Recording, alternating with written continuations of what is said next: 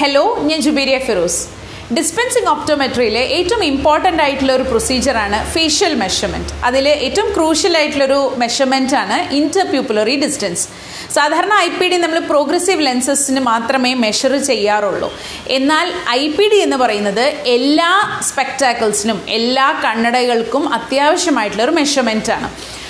കാരണം സെൻട്ര centration decentration ഒഴിവാക്കണം. That is ലെൻസിന്റെ ഒപ്റ്റിക് സെന്റർ ഫ്രെയിമിന്റെ പി ഡി ആയിട്ട് കോയിൻസൈഡ് ചെയ്തില്ലെങ്കിൽ പേഷ്യന്റിന് ഡീസെൻട്രേഷൻ പ്രിസ്മാറ്റിക് ഇഫക്റ്റ് പോലത്തെ പ്രശ്നങ്ങളൊക്കെ ഉണ്ടായേക്കാം.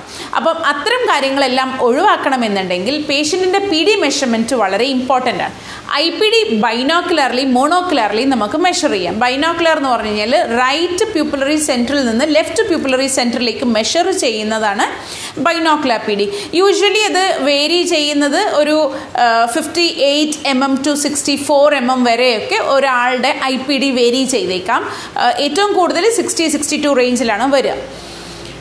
പക്ഷേ മോണോക്കുലാർ ആണ് കൂടുതൽ സിഗ്നിഫിക്കന്റ് കാരണം നമ്മൾ കണ്ണിന്റെ മെഷർമെന്റ്സ് ഒന്നും സിമെട്രിക് ആയിരിക്കണം എന്നില്ല എസ്പെഷ്യലി ഇപ്പോൾ നോർമൽ ആണെങ്കിൽ പോലും സിമെട്രിക് അല്ല. എസ്പെഷ്യലി ഇനി സ്ക്വിന്റ് കേസസിലൊക്കെ ആണെങ്കിൽ മൈൽഡ് ഫോറിയാസ് ഒക്കെ ഉള്ള കേസസിലാണെങ്കിൽ നമുക്ക് യൂണിയോക്കുലാർ പി ഡി വളരെ സിഗ്നിഫിക്കന്റ് ആണ്.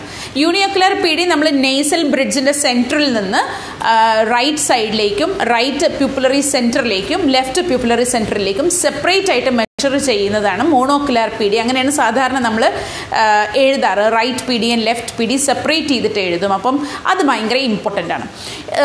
ഐ പി ഡി ടെസ്റ്റ് ചെയ്യാൻ മൂന്ന് ഒരുപാട് ഒരുപാട് ടെസ്റ്റുകൾ ഉണ്ടെങ്കിലും ഐ പി ഡി ടെസ്റ്റ് ചെയ്യാൻ മൂന്ന് രീതിയിലാണ് മൂന്ന് ടെക്നീക്സ് ആണ് ഏറ്റവും കൂടുതൽ നമ്മൾ യൂസ് ചെയ്യുന്നത്. ഒന്ന് directly on the frame patient select ചെയ്തിട്ടുള്ള ഫ്രെയിമിൽ ഡയറക്റ്റ് മെഷർ ചെയ്യാവുന്നതാണ്. രണ്ട് ഒരു പ്യൂപ്പുലോമീറ്റർ ഡിജിറ്റൽ പ്യൂപ്പുലോമീറ്റർ ഉണ്ട്. വളരെ സിംപ്ലസ്റ്റ് ആയിട്ടുള്ള ഒരു ടെക്നീക്കാണ് ഡിജിറ്റൽ പ്യൂപ്പുലോമീറ്റർ ടെക്നീക്ക് മൂന്നാമത്തത് ഒരു പി ഡി റൂളർ വെച്ചിട്ട് ഐ പി ഡി മെഷർ ചെയ്യാം. ഇനി ഇത് എങ്ങനെയാണ് മെഷർ ചെയ്യുന്നതെന്നുള്ളത് നമുക്കൊന്ന് നോക്കാം. I P D measurement on frame എങ്ങനെയാണ് ചെയ്യുന്നത് എന്നുള്ളതാണ് നമ്മളിപ്പോൾ ഡെമോൺസ്ട്രേറ്റ് ചെയ്യുന്നത്. അതിന് വേണ്ടത് നമുക്ക് പേഷ്യന്റ് സെലക്ട് ചെയ്തിരിക്കുന്ന ഫ്രെയിം പിന്നെ മാർക്ക് ചെയ്യാൻ വേണ്ടിയിട്ട് ഒരു മാർക്കറും ഒരു പെൻ ടോർച്ചുമാണ് ഫ്രെയിം സെലക്ഷന് ശേഷം ഫ്രെയിം അലൈൻമെന്റ് ആണ് നമ്മൾ ചെക്ക് ചെയ്യേണ്ടത്. ഓൺ ഫേസ് ഫ്രെയിം അലൈൻമെന്റ് നമ്മൾ ചെക്ക് ചെയ്യുന്നത് ഒരു ഫിറ്റിംഗ് ട്രയാങ്കിൾ യൂസ് ചെയ്തിട്ടാണ്.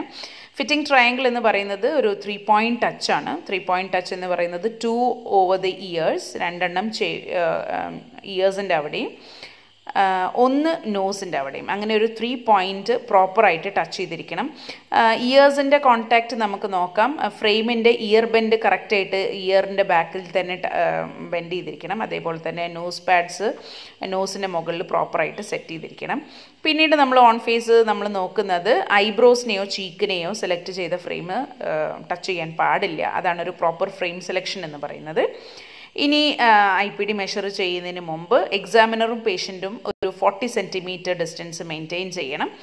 നമ്മളിപ്പോൾ ഒരു ഡിസ്റ്റൻസ് ഐ പി ഡി ആണ് മെഷർ ചെയ്യുന്നത്. പേഷ്യന്റിന്റെയും എക്സാമിനറിന്റെയും ഹൈറ്റ് സെയിം ആയിരിക്കണം. ഐ ലെവൽ സെയിം ആയിരിക്കണം. എന്നാൽ മാത്രമേ നമുക്ക് എറർ കുറച്ച ഒരു മെഷർമെന്റ് കിട്ടുകയുള്ളൂ.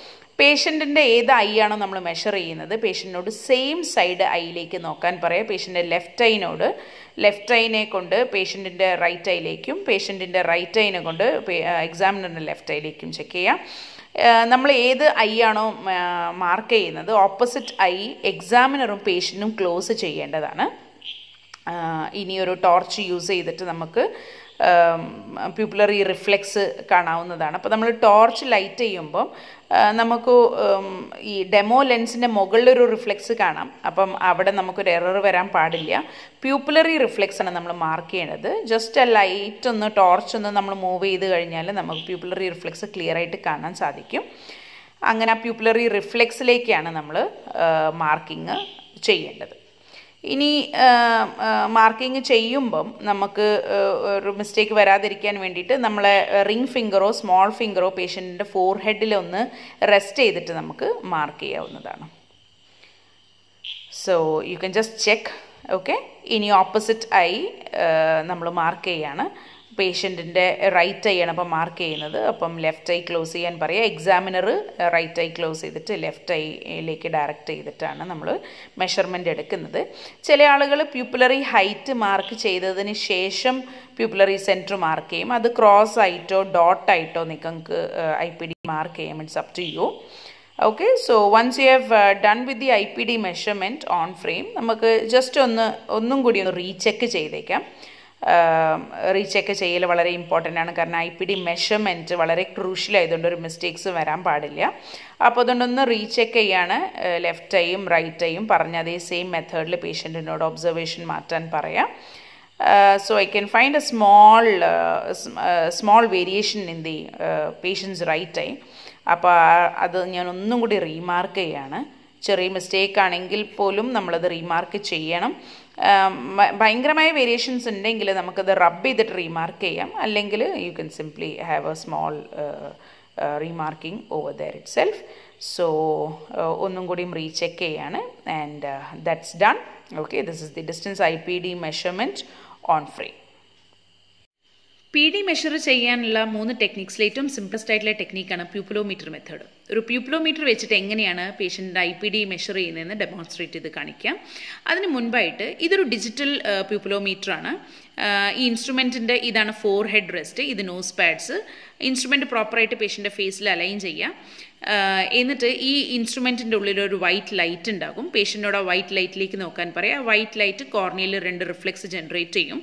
ഇൻസ്ട്രുമെന്റിന്റെ ഒരു ലൈൻ സ്ട്രിങ് ഉണ്ടാകും. ആ സ്ട്രിങ്ങിനെ നമ്മൾ മൂവ് ചെയ്തിട്ട് കോർണിയൽ റിഫ്ലെക്സിന്റെ മെഷർമെന്റ് എടുക്കുക. ഈ ഇവിടെയും പേഷ്യന്റിന്റെയും എക്സാമിനറുടെയും ഹൈറ്റ് വളരെ ഇമ്പോർട്ടന്റ് ആയിരിക്കും ഇമ്പോർട്ടന്റ് ആണ്. യൂണിയോക്ലിയർലി ആണ് എക്സാമിനർ കോർണൽ റിഫ്ലക്സ് വ്യൂ ചെയ്യുന്നത്. എന്നിട്ട് ഇൻസ്ട്രുമെന്റിന്റെ ഈ ലൈൻ സ്ട്രിങ് മൂവ് ചെയ്യാനുള്ള നോബ്സ് ഉണ്ടാകും. അത് മൂവ് ചെയ്ത് കോർണൽ റിഫ്ലെക്സിന്റെ മെഷർമെന്റ് എടുക്കാം. So this is the first value, right tail 29.5, uh, left tail 32. Uh, overall binocular PD is 61.5. Uh, first recording ആണ്. So will repeat this once more കാരണം value എപ്പോഴും same ആയിരിക്കണം എന്നില്ല ഓരോ തവണയും വ്യത്യസ്തമായിട്ടുള്ള വാല്യൂസ് ആയിരിക്കും കിട്ടുന്നുണ്ടാവുക. ഏറ്റവും കൂടുതൽ റിപ്പീറ്റ് ചെയ്തിട്ടുള്ള വാല്യൂ ആണ് നമ്മൾ റെക്കോർഡ് ചെയ്യുക. Again you repeat the procedure and will check for the value This time the right eye PD is 29.5 and left eye PD is 32.5 and the binocular PD is 62. Okay ഒരിക്കൽ കൂടി നമ്മൾ repeat ചെയ്യാണ് നേരത്തെ പറഞ്ഞ പോലെ two two three times you may repeat the procedure പേഷ്യന്റിനോട് white ലൈറ്റിലേക്ക് തന്നെ നോക്കാൻ പറയാം and you repeat the procedure and you get the value this time let see It's right eye 30 and left eye 32. The binocular PD remains same 62. Okay. We'll repeat the procedure procedure once more fourth ടൈമാണ് repeat ചെയ്യുന്നത്.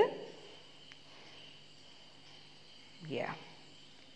So now the remain it remains same 30 right eye and 32 left eye. The binocular PD is 62.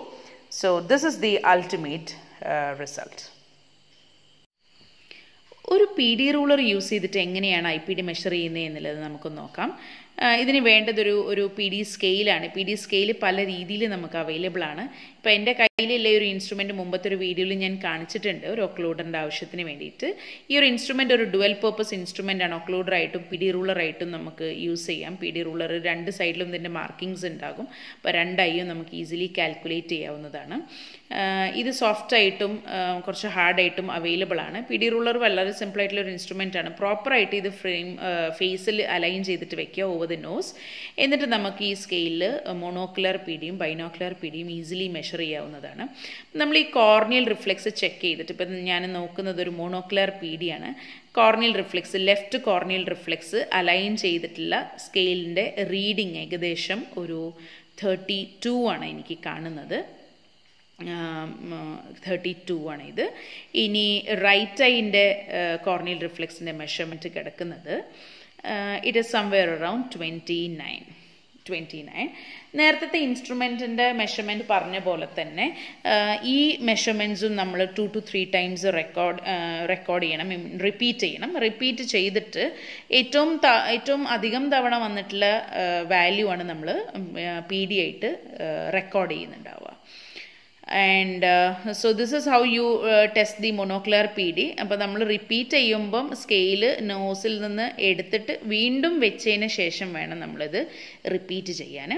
ഇനി ബൈനോക്ലിയർ P D ആണെങ്കിൽ ബൈനോക്ലിയർ P ഡിക്ക് വേണ്ടത് ഈ സ്കെയിലിന്റെ zero marking സ്കെയിലിന്റെ zero marking നമ്മൾ ഏതെങ്കിലും ഒരു കോർണിയൽ റിഫ്ലെക്സിനോട് അലൈൻ ചെയ്ത് വെക്കും. അത് left or right it it's it is again your choice okay ഞാനിപ്പം ലെഫ്റ്റ് പി ഡി ആണ് സീറോ അലൈൻ ചെയ്ത് വെച്ചിരിക്കുന്നത്. ലെഫ്റ്റ് പ്യൂപ്പുലറി സെന്റർ സീറോയിൽ അലൈൻ ചെയ്ത് വെച്ചിട്ടുണ്ട്. അത് കറക്റ്റായിട്ട് സീറോയിൽ തന്നെ കിടക്കണം.